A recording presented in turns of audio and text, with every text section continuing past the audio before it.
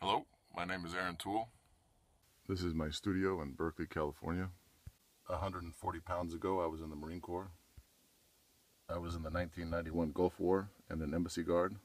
Now I mostly just make cups. I throw the cups on the potter's wheel. I use molds that I've made to decorate the cups. I underglaze the cups. I glaze the cups. Using a laser printer, I print decals. I cut the decals out. I apply the decals to the cups. I fire the decals on the cups. I have made and given away over 17,500 cups since 2001.